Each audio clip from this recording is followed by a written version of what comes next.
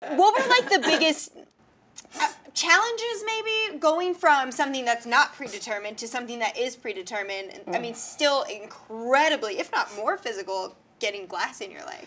Um, it's, it's physical in a different way. Like fighting is definitely the stress from fighting is much, much more. You know, it's like I could get in a random fight. Someone could walk into this room right now and I'll beat the fuck out of anyone in this planet. You know, but it's the, the training camp and the weeks leading up to it and the press and just like going to sleep every night thinking about it and all those things. Like that's like the real wear and tear. I feel like not the the physical part of it so much. And of course, like you know, fights, you, you, you just assume, okay, I'm gonna give myself at least a month to recover after that. Mm-hmm. So it's like, it's a peaking system. You allow yourself to peak and crash. With WWE, it's just a grind and it's nonstop. And I did like the easy version, like everyone else does, like 300 days a year.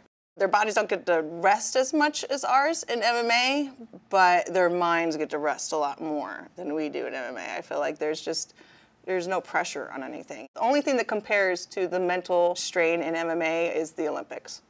Interesting. Yeah, that's the one highest because you train your whole life and you have one day for all of your training and all of your hard work to pay off. It was all for nothing. Right. You can get another fight in a couple months.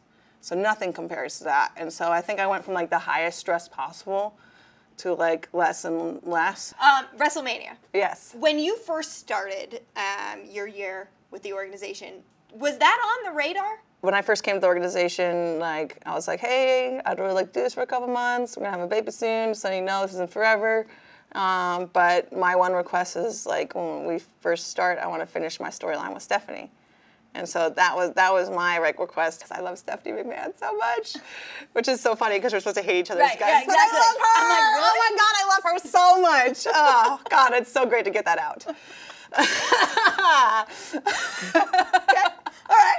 I love Stephanie. all of the girls so much. Oh my god, and it's like this big secret, and I had to like keep it in so people could enjoy themselves, but I love them. It was just an incredible experience. Like Triple H like taught me how to lace up my boots.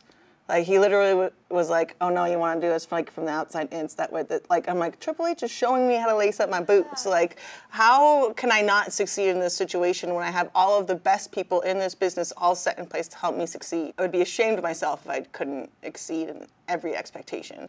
People didn't like it all the time, but it was fun for me. and you made more history. And I mean, women headlining WrestleMania. Yeah, it was great, huh? That was fun. It was really great. It and was like, so great. Did it feel huge to you? Uh, yeah, it, it felt big. It's just, I think it just has to do with the time, with the perspective. Like, me and Liz Carmouche felt bigger to me. This is a gigantic cultural moment. This is not just a moment for Ronda Rousey. This is a, a moment for women's sports, period.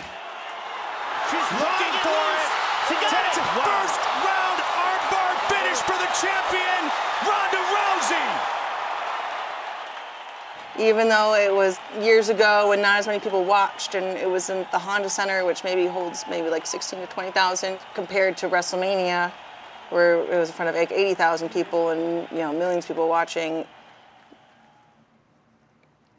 I just felt like me and Carmouche was the most like pivotal moment, or that everything had to happen that way, or else women's MMA would have ended before it started, you know. And um, with WrestleMania, it just felt like all the stars were aligned and the whole universe was conspiring for us to succeed and i had not a single doubt in my mind that we would but for like carmouche it was so many outside factors of like the numbers had to do well and i had to win the match but i had to win the match in like an exciting way and mm-hmm. like there were just so many other different factors that i had to worry about and i feel like the, the stakes were like higher in a way even though the venue and the audience was smaller were you nervous your first wrestling gig? Yeah, nervous, but I mean, after fighting, it's like I feel like I get to enjoy wrestling so much more than everybody else because I've just maxed out on like pressure.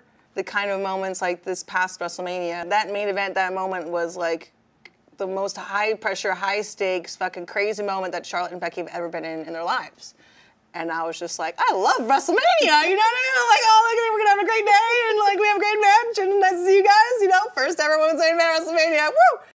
So they're all like, oh my God, I wanna do a good job. And I'm like, Joan Jett's here, okay? That's awesome. She's so cool. Oh my god, I cannot believe like you know like have like moments to yourself like I don't even know if this is real life right now. I'm like standing on top of the ramp at WrestleMania and Joan Jett's like playing her guitar and she looks at me and she's like, yeah. And I'm like, yeah. Yeah. Like how can you not be like totally kicked out? No wonder I broke my hand. Joan Jett just nodded at me, okay? She was you guys see playing bad reputation, looked at me, nodded in my direction, like, go get that shit, Ronda. And I'm like, I'm gonna go hit somebody so hard and break my hand. Because I love Joan Jett. That is And it's. WrestleMania. Yes. I mean, they pulled out all the stops. You, you know, if there's any time to go big and go home, it's WrestleMania. For so. real.